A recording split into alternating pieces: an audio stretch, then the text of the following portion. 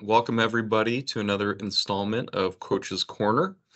Uh, this is something that we've had the privilege to partner with IHSAA uh, to allow these meetings to happen and to hopefully provide some very good education uh, to you and to coaches and to administrators to make uh, our sports medicine athletes and our high school kids uh, healthier and more active in what they're doing uh, and to provide just education to, to take care of them better. Um, during the webinar, you can certainly ask questions. I ask that you use the chat function at the top of Teams. If you just click on that, uh, feel free to send in any comment or question uh, during the webinar, and I'll uh, typically address those during the time that we're here. Uh, we're trying to keep this relatively short. Uh, I know this is a, a midday meeting and it's hard to find the time, so we'll try to keep it to about 30 minutes total. Uh, and I would ask to please have you fill out any evaluations that are sent to you after the meeting because this will help shape uh, what information we're providing and, and future topics that work best for you. Uh, so it's my privilege today to introduce Wil Fleming, uh, who's a, not only a good friend of mine, but uh, truly a master of understanding strength and conditioning. Uh, he's one of only 20 coaches in the country to hold the credential of USA weightlifting international coach. Uh, he is the owner and coach at One Kilo. Uh, he's a very sought after coach for the highest level of Olympic lifters. Uh, he's also a reigning masters level Olympic lifting champ. Um, and competitions are often taking him around the world. Uh, so I'm still waiting for my first invite to accompany him as maybe a, a doc for his lifting team would be nice. Hint, hint. Um, anyway, I think he's got some great information to share with us, and then we'll we'll have a little bit more conversation when he's done. So, Wil, over to you. Thanks, Scott. Okay, so um, we can go into the next slide. Um, I'll tell you guys just a little bit more about me in the next slide, um, which uh, my background. I was an athlete all my life, like a lot of people who get into strength and conditioning, and um, saw an opportunity after completing my collegiate career where I was a track and field athlete and I was an All-American at Indiana University in, in uh, the hammer throw.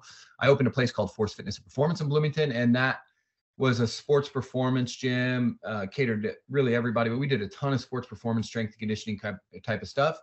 We would contract out with high schools and worked with um, five high schools over the course of the period where we take over the whole um, strength conditioning program and also just had individual athletes coming in. And so over the course of 10 years from 2008 to 2018, I had 125 division one athletes um, and uh, over 200 plus collegiate athletes. So division one, two, three, NAIA. Um, and, and we had professional athletes in all sports. And in Bloomington, that's relatively harder to do. So we had NBA players, um, helped some a couple guys get their first contracts in the NBA. Uh, we had NFL uh, players, Major League Baseball guys. We had a guy set the record for the most steals in uh, minor league baseball history uh, one season, then moved up and played in the majors for seven or eight years after that. So we had some really good successes and Olympians as well, uh, just operating sports performance stuff uh, locally, and also worked in the high school setting. in 2018, I sold that and fo- decided to focus full time on coaching weightlifting as a sport. And so we've had some really good success, have American record holders and national champions and uh, Olympic hopefuls. Hopefully, in two years, I'll be coaching at the Olympics um, with uh, a couple of my athletes who are uh, really uh, successful. And then the other thing over there is I've written a couple books. Um, one is velocity based training for weightlifting, where we explore you know kind of some deeper metrics on how to uh, approach weightlifting as a sport and weightlifting as it pertains to sport performance a book called Complete Olympic Lifting, where uh, just teach you how to be uh, better and coach the Olympic lifts, snatches, and clean and jerks, and then uh, contributed the chapter on uh, strength and power to the book called Complete Sports Training. So um, I've had a pretty broad uh, level of experience in strength conditioning in the last 15 or so years. So next slide, if you would. Okay, so uh, you know, if we talk about strength conditioning, I, I, think it's really good to start at the beginning, and way back when when strength conditioning kind of first came on the scene, because right, you know, now it's kind of a given, right? If you are a, a high school or you know collegiate or whatever, you are you're going to have a strength conditioning program of some sort. But uh, uh, you know, a bunch of years ago, that was not not the case. And and knowing where it started helps us kind of see what's going on now. So it would make athletes too muscle bound. And you guys, we've heard that. You know, I heard that when I started lifting. Still, uh, you know, 25 or yeah, 25 plus years ago, that you might get muscle bound or too bulky. You'd be too stiff. You'd get you'd get you're more likely to get injured. You'd be too slow if you lifted weights, or only bodybuilders lifted weights. Those are all kind of those early misconceptions.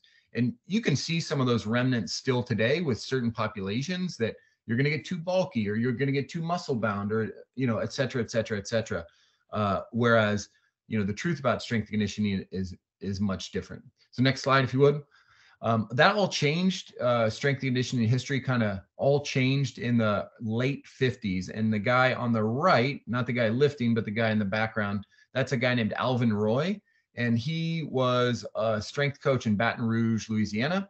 And he caught the ear of the LSU staff at the time in 1958. And they noticed that a couple of their recruits who were local were just faster than everybody, you know, hit harder, were just, you know, coming back from it. They were less likely to get injured and it was all because they had started doing Olympic lifting with this guy named Alvin Roy, who had been an assistant coach on the 1952 Olympic team, owned a gym in Baton Rouge. So the very first collegiate program that started weightlifting was uh, was this Alvin Roy's program at LSU. He went on. This is a cool picture of him, you know, coaching someone on the beach when he was a San Diego Chargers um, strength training coach. So, and then the next guy, the guy who kind of even blew it up even more was a guy named Boyd Epley, and he was a strength coach in Nebraska from 1969 to 2006. He's got a pretty famous name. He's got a great book like uh, Nebraska Football and Husker Power is a really good book just about basics of training. And he was a he got he was actually just a pole vaulter on the team in Nebraska. And um, Tom Osborne was one of the coaches, and he he said, "I've noticed that all the guys who work out with you come back to practice healthier and stronger and I'm interested to know what you're doing in there. And so that was kind of a, you know, that was one of the first things. And Epley uh, started that in about 1969. And in 1979, he founded the NSCA, which is the National Strength and Conditioning Association. And that kind of formalized strength and conditioning. And you could see it start spreading, particularly in the college ranks after that in the early 80s, where you'd start seeing college strength and conditioning programs um, uh, start populating everywhere. So we can go to the next one so then you know there's an evolution of uh, of strength and conditioning and i put that on the right side the bfs set rep log and um, i remember that being in my high school weight room in the 1990s and you know bigger faster stronger was this huge huge thing and maybe one of the first ways that uh, strength conditioning got popular at the high school level and but the evolution of strength conditioning kind of came from just other strong people, if you will. Olympic lifters. Um, Alvin Roy was obviously an Olympic lifter. Boyd Epley had done Olympic lifting. So cleans, snatches, that kind of stuff got in there. Later on, uh, you know, the powerlifting wasn't even developed as a as a sport or an activity until in the 70s. So powerlifters kind of caught on because they're like, oh, powerlifters are very strong. So you started seeing more squatting, more deadlifting, more bench pressing that came to the forefront later on and then certainly bodybuilders that became really big probably around the the 80s in the mid 80s that was um, if you ever i don't know how old anybody is but nautilus became really big and it was one set to failure which is a classic bodybuilding thing that only you only need to do one set you do it all the way to failure and that's all the work your muscles need to do for that day and you do a bunch of different exercises and you do body part splits. So you train arms one day, you train legs one day, you train calves, you know, whatever. So that became a big thing. And that's actually, you know, HIT training, high intensity training is still a thing at some at some collegiate programs. And then CrossFit is the you know newer one and they're all the the thing about strength conditioning is all of those are pieces. None of them are the right methodology to train groups of athletes in high school to you know be more resilient and perform better. Pieces of them are all great right? You should probably do a squat version. I think cleans are really valuable. You got to do some you know uh, hypertrophy work where you grow the muscles like a bodybuilder and you know the conditioning piece of CrossFit might be semi-valuable to your program as well. So all those pieces, but where you know strength conditioning has gone wrong is if a coach or a group has dove too far into just that specific methodology. Okay, we can go on to the next one.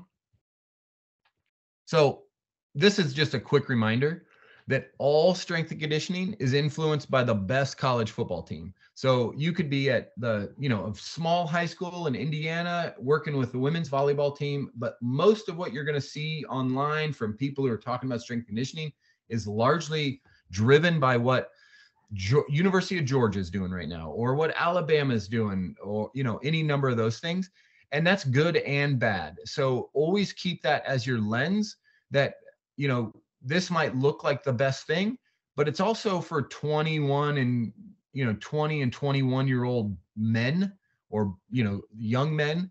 And they're a different type of animal, a different type of person, a different type of being than you know um, a 14 year old guy or a 15 year old boy or a 16 year old female. They're all different so you have to take that into account. So that's just a, a reminder that strength and conditioning is highly influenced by the best college football team all right, next one.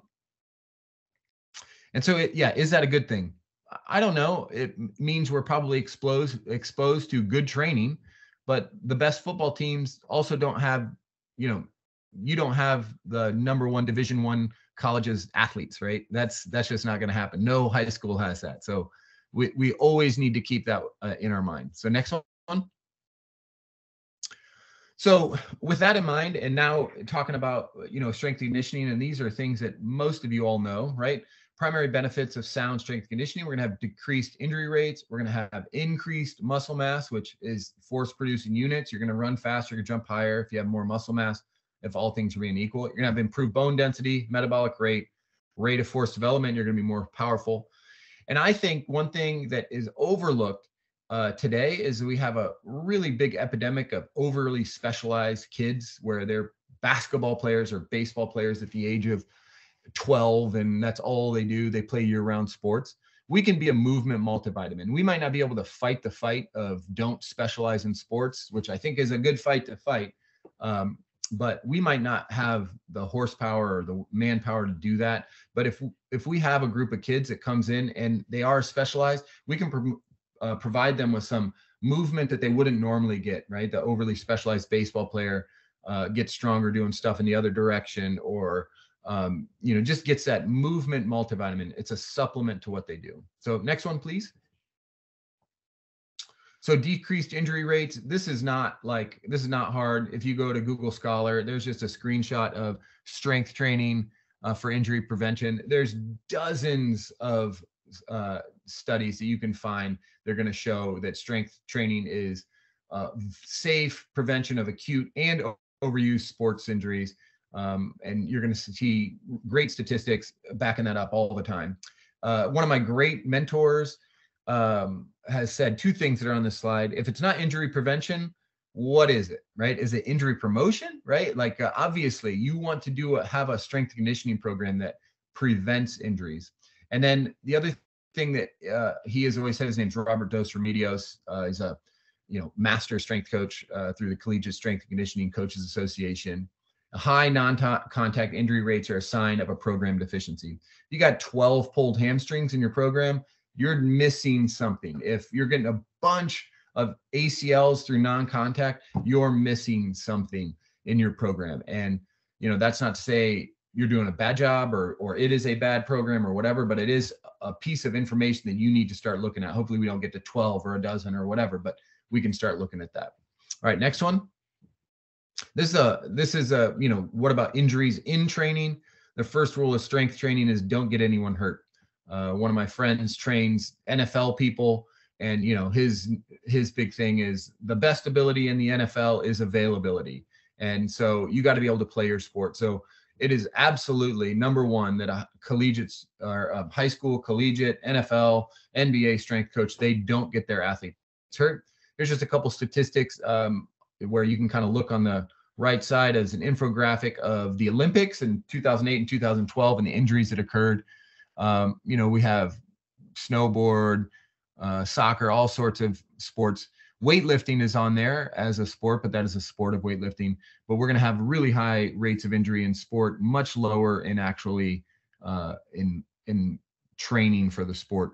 And there's just one as injuries per thousand hours of participation. They don't have just weight training, but they have elite powerlifting.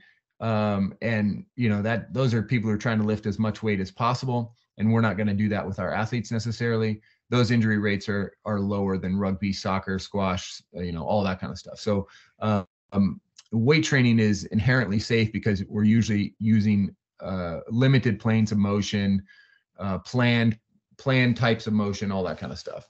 So we can go on to the next one. Uh, this, this one's a great one. You know, more muscle mass is good. You're going to see uh, better recruitment um, of muscles. When you lift weights you're going to have those fast twitch muscle fibers are going to be recruited preferentially and we're going to have athletes um, who can move faster run faster. You lift weights you add more muscle mass you're going to jump higher run faster 10 yard sprint times. Next one. And this is this is a big one that i think when we're talking about high schools and younger athletes it sets athletes up for life right? We're going to have these athletes who are training to train. This is a graphic from Canadian Sport for Life. And what we want to do is destigmatize the weight room, remove the fear around, lifting weights, around strength conditioning, so that they're done playing. Most of our athletes are never going to play after high school. And when they're done, they go to their college rec center, they go to their local gym. They're not scared to go lift weights. They're not going to do it poorly. They're going to be able to lift for life and be active for life, reducing chances of obesity and health, uh, poor health outcomes later. And I think that's such a big thing. Let's encourage and get kids and uh, really excited about exercise and lifting and strength training. Next one. Okay, so here's some current best practices going into the next slide. What we want to do is we want to test and assess. The best programs always test. Without testing, you're not going to know what to do. So you should do some sort of movement assessment, whether it's an FMS or SFMA, something you develop on your own. Um, you know, really big topic now is do you need force plates, jump mats, vertec, sprint timers, um, you know, something to test those things and get concrete uh, measurements. I think lift testing is important. We rarely do it to a one rep max. We usually use a three rep max because if the first doesn't look great, we can call the set, uh, or they can get to three and we can project out to a one. I think one must test things you need to do in your program. Test a 10 to 20 yard sprint.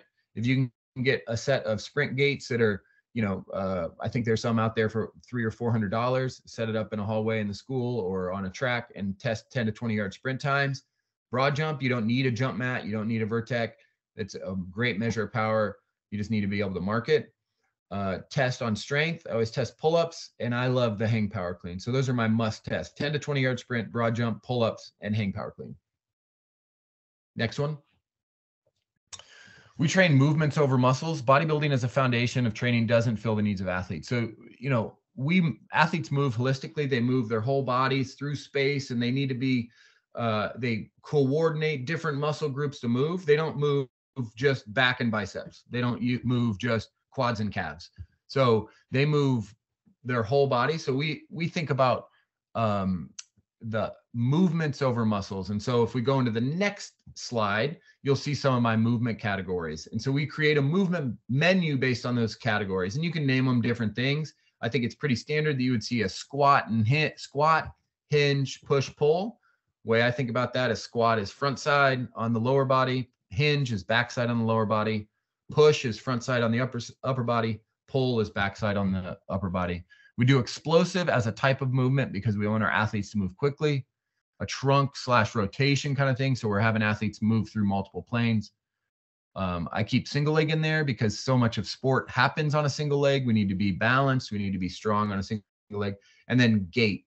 So in a, any good strength and conditioning program, you want to have some type of gait where they're skipping, pulling, sprinting, pulling sleds, sprinting, uh, and then once I have that those categories across the top, I would fill out a movement menu. And this is a real quick one. I did this slide in three minutes, right? But you, you know, you could go seven, six, seven exercises deep. Uh, and you know, they could be a progression where it's level one, level two, level three, level four. Next one.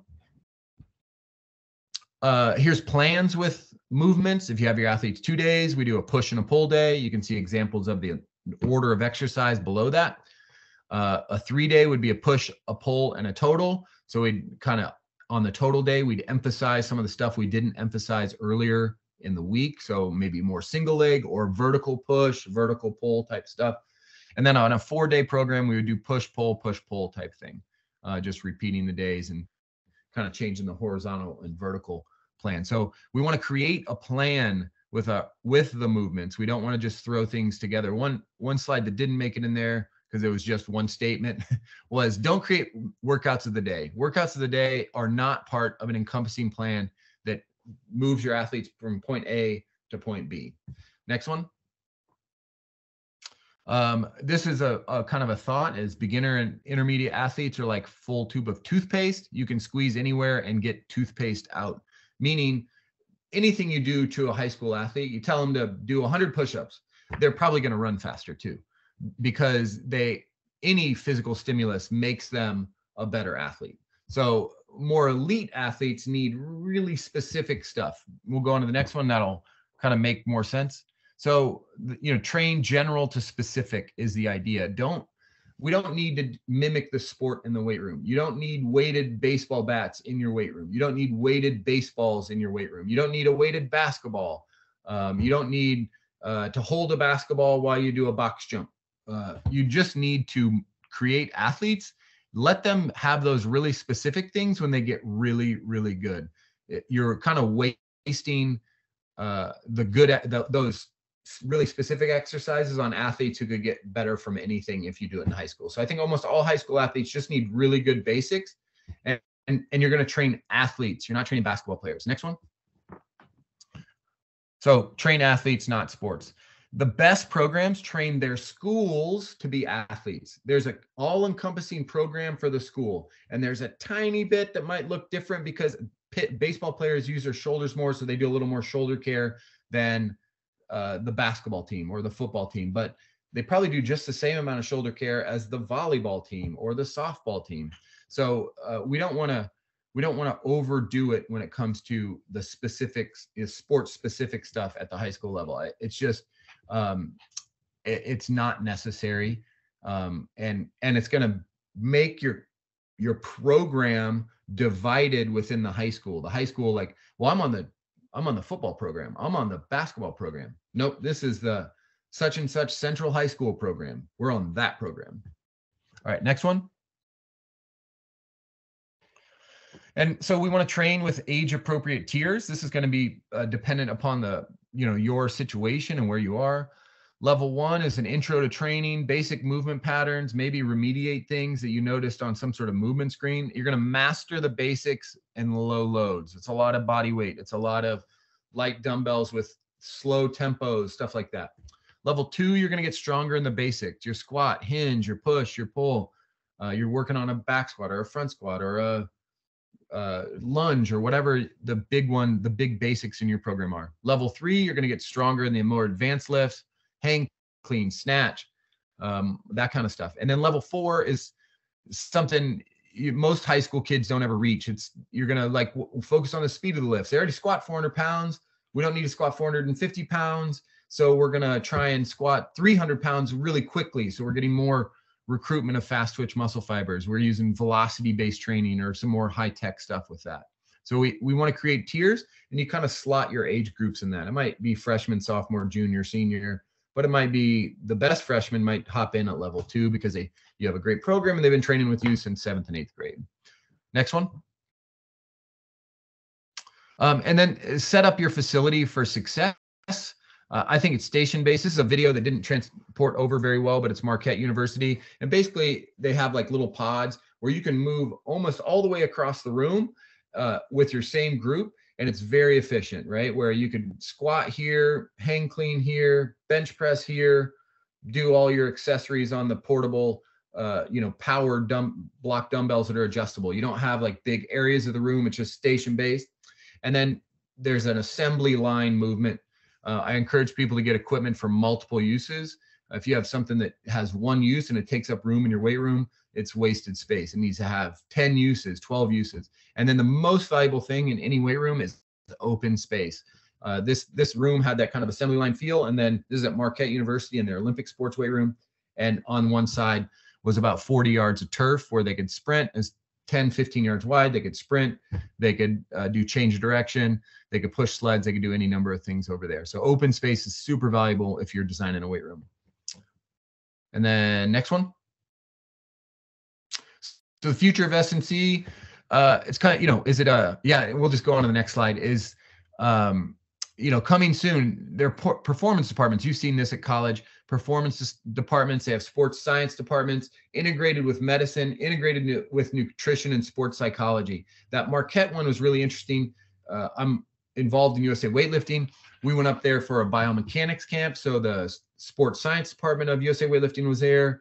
Uh, they were doing biomechanical analysis, force plates, all that kind of stuff. Had uh, some blood work done with the medicine, uh, nutrition consultations, DEXA scans, and uh, you know some visualization with the sports psychology because all those pieces need to meet together. And at the high school level, you you guys might not have all those things in one spot like a college or professionals would have, but work on finding those people to bring in with you uh, that are you know on the same page when you're talking to your ortho they know what kind of training you're doing so that they are understanding what's kind of going on and the athletic trainers are you know all of you guys working together so that um, so that you guys have a really integrated approach and the athletes will uh, will benefit so much out of something like that.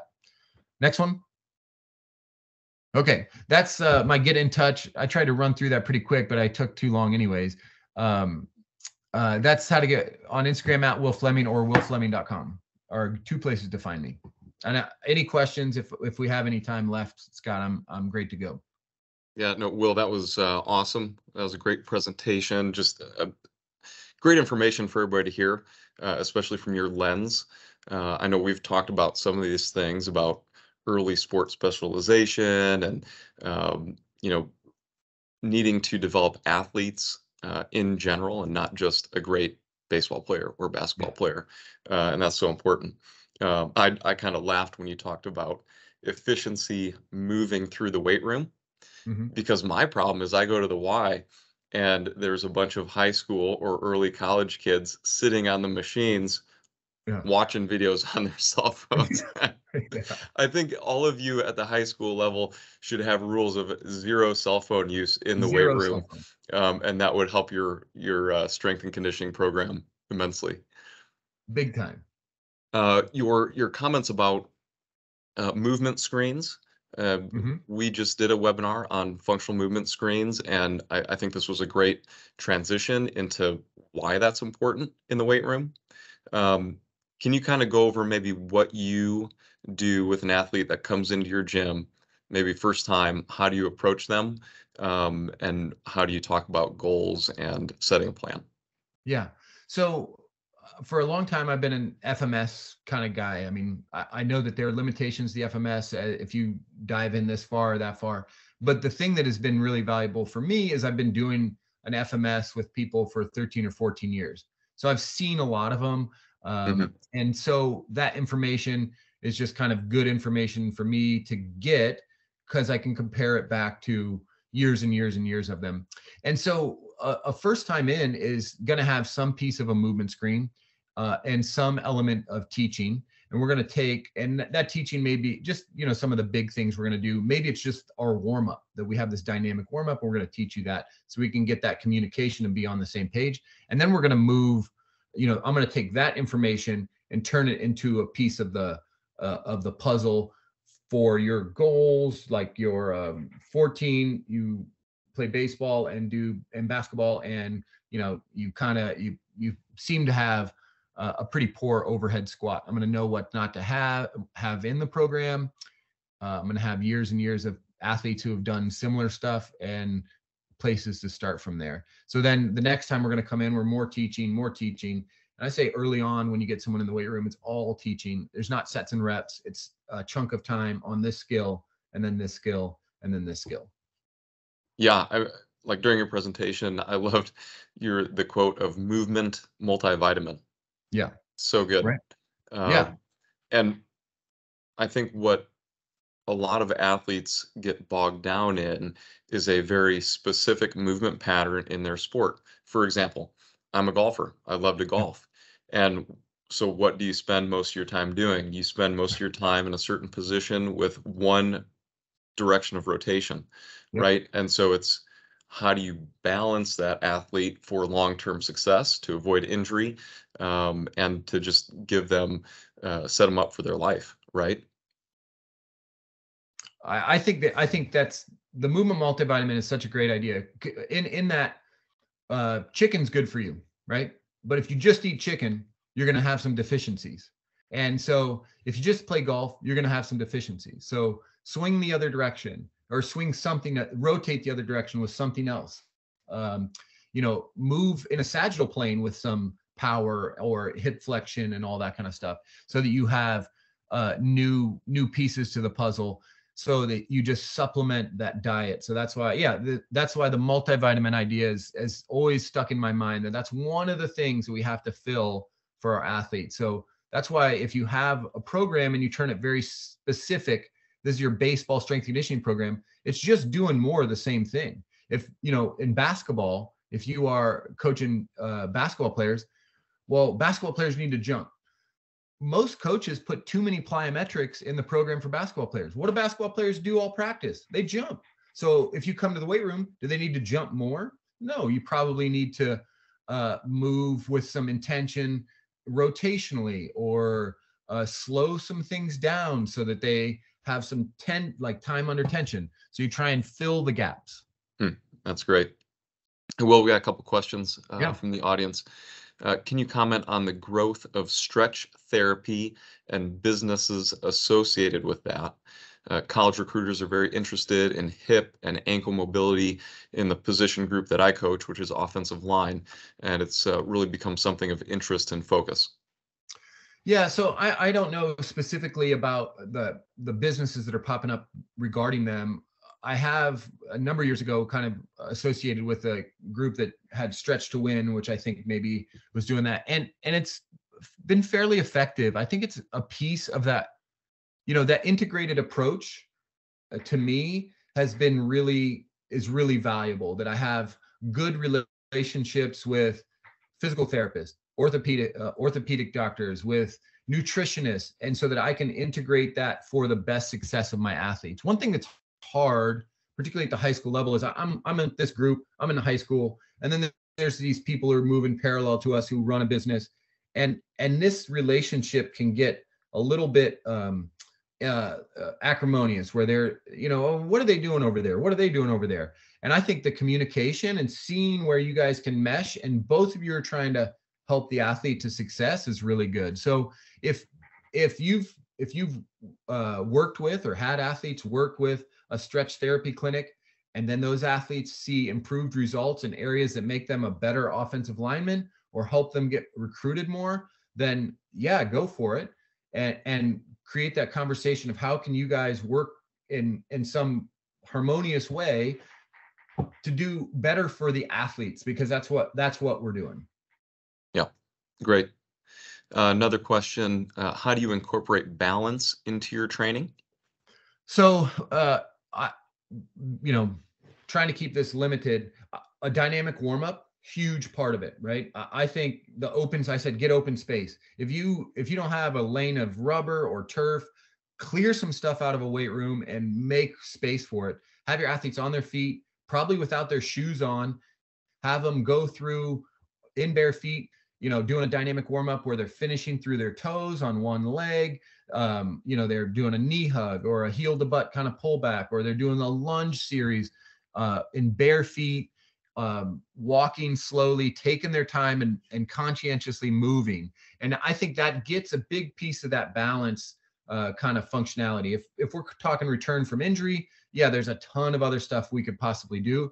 But if we do that, we have the athletes learn what their feet feel like on the ground, uh, that barefoot warm up is such a huge part of what we do. I have, you know, my Olympic level weightlifters warming up barefoot in the gym every day because, and, and they just have to move in one plane. So I want the, I want my athletes who have to move side to side, front to back, all that kind of stuff, they should they should have good proprioception through their feet by warming up barefoot. And that's one of the easiest ways to do it. It's five, 10 minute warm up, and then you're moving on into your your workout. Great. That also means you have to keep your gym floors clean. We don't want ringworm breaking Oh, out with all yeah, our athletes. yeah, all right? exactly. Yeah, right. Uh, another question: What what do you suggest for aftercare uh, after strength training session? Um, you know, are a lot of your athletes using foam rollers, massage guns? Are they doing yoga separately? Um, anything that they're typically building in? Yeah, um, the one non-negotiable, and it's typically it's uh, one thing that's semi-hard to do depending on your situation is they're in and then training gets done and they're like, see you later, right? And they just want to, they're gonna, I'm gonna head out, coach, right?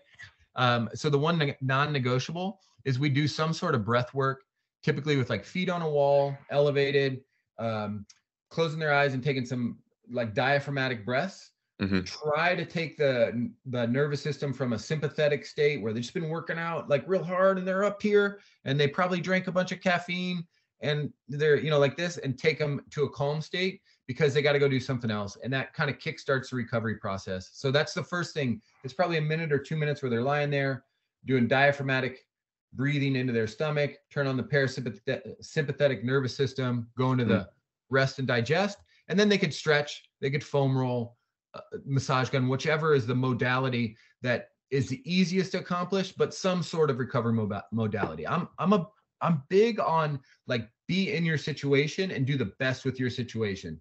If you don't have a bunch of room for you know stretching and all that kind of stuff, then you know there's a little corner with a couple foam rollers and and stuff like that. Whatever your situation is, just do that thing and be consistent with it so you can see results.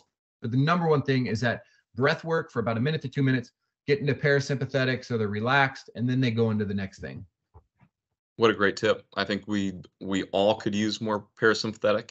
Yeah. right? With our busy lives, stressful lives, and uh, we get overly anxious about a lot of things. Kicking that parasympathetic system in uh, with meditation or breath work can be a great, great tool.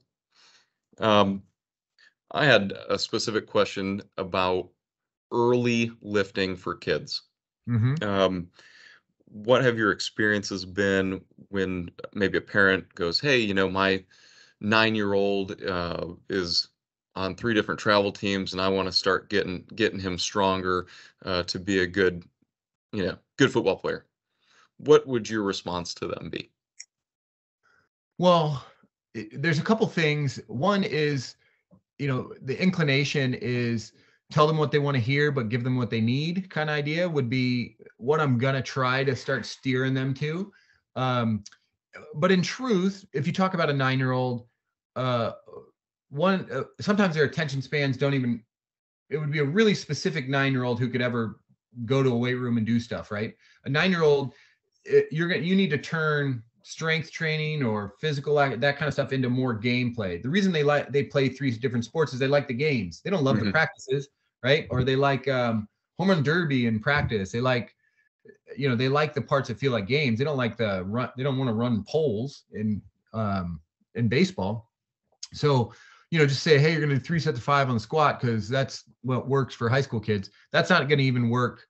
That's not gonna work mentally. It's not gonna really work physically so what I tend to say is we're gonna stop if if they really want it and it's the right kid, and you know, typically I'm like, I'm okay if you're 10 to 11 years old, teaching you how to lift weights. We're gonna have a kettlebell and we're gonna learn how to squat and we're gonna learn how to um, we're gonna learn how to do push-ups and pull-ups and you know maybe it's just dead hangs and all that kind of stuff. I'd like to incorporate into stuff that feels fun, where it's a circuit, or you're gonna do like a you know obstacle course to get there.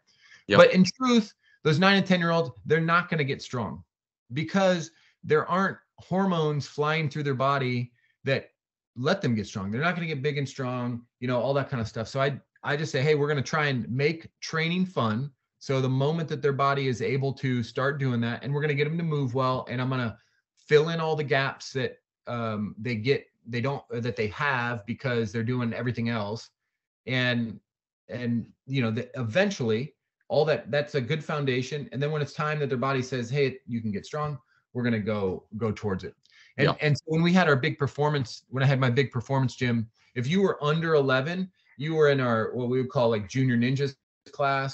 And so there'd be a skill. That skill might be part of a game. You know, it's like skipping. And then we're going to play tag where you skip. Um, we're going to work a lot on hand-eye coordination. If it was a squat, it was probably you had to squat down to grab a medicine ball and throw it over something, and then you had to run and jump over a tire or something. You know, because it was it was like the game was get the medicine ball to the island because it was a you know everything else was lava right Yep. so so if you're Yep. under like 11 that was what we were trying to do so yeah uh, early strength training i'm i'm all for teaching foundations getting kids moving well getting them excited about the gym being the positive person who makes them pumped to go to the gym but i'm not trying to like get him jacked Perfect. Yeah. Perfect answer. Um, what, where do you think most injuries occur for the high school athlete that is trying to get strong or thinks they're going to bulk up uh, and they go to the weight room with minimal, uh, you know, oversight? Where do you see them having the most problems, either with form or lack of a spotter, too much weight? What do you typically see? uh, too much weight ego lifting with boys is going to be huge right um, not to label a whole gender but boys are going to go out over and try and outlift their buddies and where that usually to me gets problematic is they're squatting and they get pretty poor technique in a back squat in particular or they watch you should stand this way and do this on tiktok and you know that that's pretty terrible. Um you know so that's what that's backs that's um typically backs and knees where are uncomfortable maybe uh backs are probably the acute injury spot for a high school kid uh doing things poorly but it's usually because of too much weight. Um and so you know i think that's one of our biggest roles right because the Mhm. your best kids in your program or at your high school they're going to want to lift extra they're going to want to go do more so let's make sure that they know why, not only how to do it well, but why they should do it well, right? Because full range of motion gets more muscles and and that's going to help you. So you got to keep the weight a little lower because a full range squat will, you know, uh, recruit more muscles than a half range squat with more weight, right? Which is a true thing. Um, so, you, but you tell them how, you show them how, teach them how, and then tell them why, so that when they go out, they're going to know how to do it correctly and you know i i love it in the private sector when a kid goes off to high school or they go to their high school weight room or a lot of times now it's the college weight room uh, and their coach like is like man they got the best technique here i not necessarily strongest but they got the best technique they know that they can just let them go and they don't have to coach them on the technique Yeah. Hey, I, I think that's about it for time. Uh, Wil, this was a great conversation. Um, I encourage all the attendees to look out for you on Instagram. Uh, Wil Fleming, uh, great coach around town and good friend. Uh, please, there are going to be some emails coming out to uh, evaluate the session. You can certainly send follow-up questions. Um, I'd be happy to help uh, answer those for you. So uh, we'll be sending out a new invite for next month's uh, webinar and hope to see you all then. So thank you very much. thank you